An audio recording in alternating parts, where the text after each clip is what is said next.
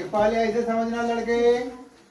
ए लड़के मिश्रण दिया है इसमें लिखा है कि इसमें लोहा है प्लस रेत है और प्लस कांच है।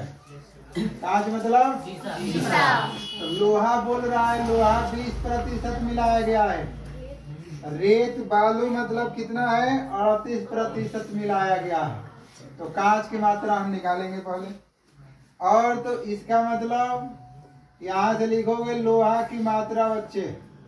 तो लोहा की मात्रा बराबर कितना हो जाएगा? इस बीस प्रतिशत यहाँ लिखोगे रेत की मात्रा, रेत की मात्रा हो जाएगा अड़तीस प्रतिशत। तो कांच के जब निकालने जाओगे लड़के कांच की मात्रा निकालोगे तो प्रतिशत हमेशा सौ पर निकाला जाता है। तो इसका मतलब कि सौ में से बीस प्लस अड़तीस कर दोगे तो नहीं पता चल जाएगा इन दोनों में से घटा दो जोड़कर। तो ये हो जाएगा सौ माइनस है कितना हो जाएगा रे बाबू? अंठावन। इसका मतलब यहाँ बयालीस प्रतिशत हो जाएगा। ठीक है? उसने दिया है कि कांच की मात्रा लड़के यहाँ लिखा है ए बच्चे, कांच की मात्रा दिया हुआ है। कांच की मात्रा बराबर एक सौ अड़सठ ग्राम दे दिया है। तो बोल है, मिश्रण की कुल मात्रा बताइए। ठीक ना?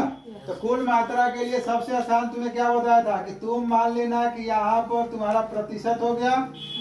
और यहाँ तुम्हारा आओगे तो यहाँ पर तुम ऊपर लिखते हो प्राप्तांक। कैसे समझ लो?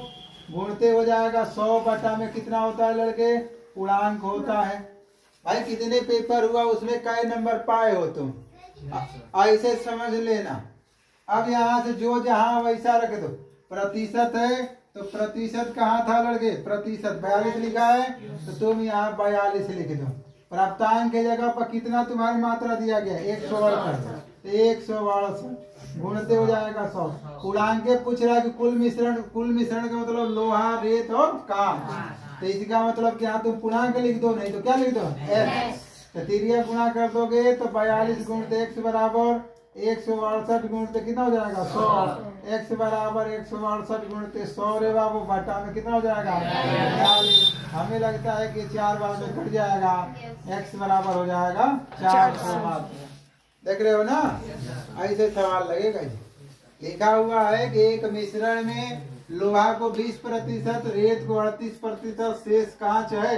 यदि उस मिश्रण में कांच की मात्रा एक सौ अड़सठ ग्राम है तो बताइए कुल कितना मिश्रण है? तो इस तरह लगाइएगा चार सौ आएगा। आई बात समझ में ना?